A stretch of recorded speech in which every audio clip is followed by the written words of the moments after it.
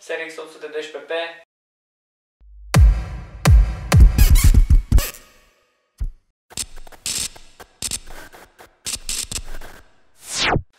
Salutare! Astăzi vom face unboxing-ul la JBL 812P. O boxă, zic eu, destul de bună. Cei de la JBL promit multe cu această boxă. SRX 812P. Hai să o deschidem și să vedem cum arată. SRX 812P de la JBL. O boxă destul de mică și ca și gabarit și și ca și greutate, numai 26 de kg, deci putem să o manipulăm destul de ușor. Cei de la JBL oferă cu această boxă 2000 de W peak power și 1500 de W RMS la un SPL de 136 plaje de frecvențe între 45 și 20.000 de Hz. Este suficient.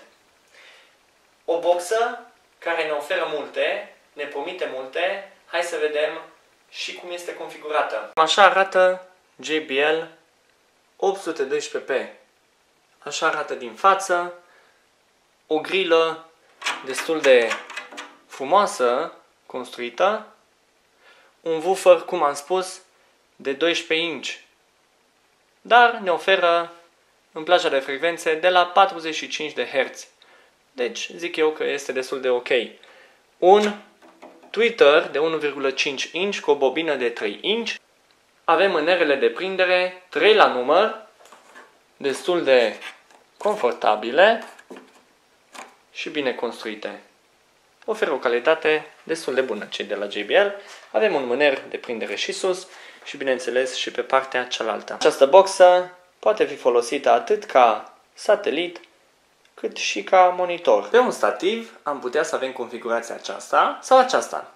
Este o configurație cu un unghi de 30 de grade, un sunet pe care putem să-l distribuim acolo unde este nevoie. Cam așa arată ca și monitor, oferă o dispersie a sunetului destul de largă. Îmi place. Boxa are și un DSP incorporat, complet configurabil, panou din spate, cam cum arată. Cam așa este panoul de control, avem un buton de power, avem un buton care poate fi folosit și ca și buton și ca un potențiometru de volum. La fel putem să hoinărim prin panoul de control. Avem un buton de back, avem două canale, bineînțeles, la fel cu butoanele aferente, la fel putem să modificăm volumul sau să hoinărim prin preseturi. Avem o intrare atât XLR cât și jack mare. Avem o ieșire numai de pe canal. La fel și pentru canalul 2 și aici un mix out vine sunetul de pe cele două canale. Putem să configurăm această boxă și printr-o rețea network. Aici, bineînțeles, avem inputul pentru power. Odată ce am conectat boxa la rețeaua de curent, o să se aprindă acest LED. Cum pornim boxa? Apăsăm butonul de power și deja panoul de control cu acest display LED se aprinde. Observăm că volumul merge de la minus 100 până la 12. Cei de la JBL spun că atunci când volumul este pe 0, boxa oferă jumătate din capacități. Acesta este un buton de back. Cum îl folosim? Atunci când intrăm în preseturi, apăsăm pe acest buton și putem să mergem în jos. Avem o grămadă de preseturi din care putem să alegem Main, acesta este presetul care se folosește în principal. Monitor, o funcție care reduce nivelul de joase puțin. Speech, aici când folosim un subwoofer și avem până la 50 de preseturi. Destule pentru ce facem noi. Mergem mai în jos, avem Auto Dim, Auto Sleep, Matters. Aici, din DSP, putem să configurăm la câți metri se află boxa față de un subwoofer sau față de o altă boxă dacă avem probleme cu delay-ul. Aici avem network menu, dacă avem conexiunea network și câteva informații. Butonul de back ca să revenim la setarea volumului.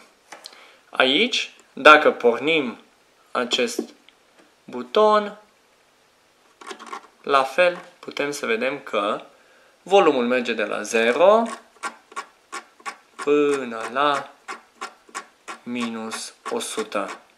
Asta se poate face pe canal.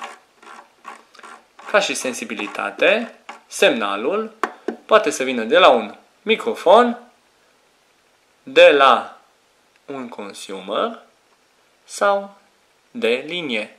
Semnal de linie, bineînțeles, o să meargă în mixer. Cam așa arată panoul de control. Butonul de power o să întrerupă conexiunea panoului de control. Bineînțeles, avem și un ventilator care atunci când se supraîncălzește boxa oferă o ventilație forțată. Ca și construcție, zic eu că este destul de solidă, destul de bine configurată.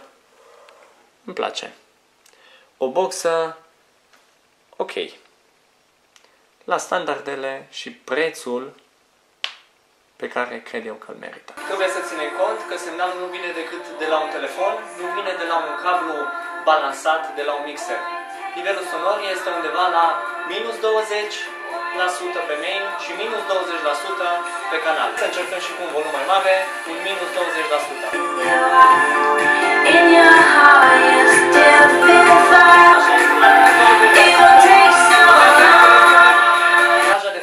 înalte este una cât se poate de curată, un sunet curat. Plaja de frecvențe joase ar lăsa un pic de dorit. Nivelul este unul foarte mare, țineți minte că ne aflăm undeva la 6 metri. Sunetul este unul foarte puternic. Putem folosi și pe poze monitor, și satelit. O putem folosi mai multe configurații, un DSP complet configurabil. Cam atât a fost unboxing-ul la JBL Series 812P. Bine, până data viitoare, când o să facem un alt unboxing, vă las. Mic sonor. Pa!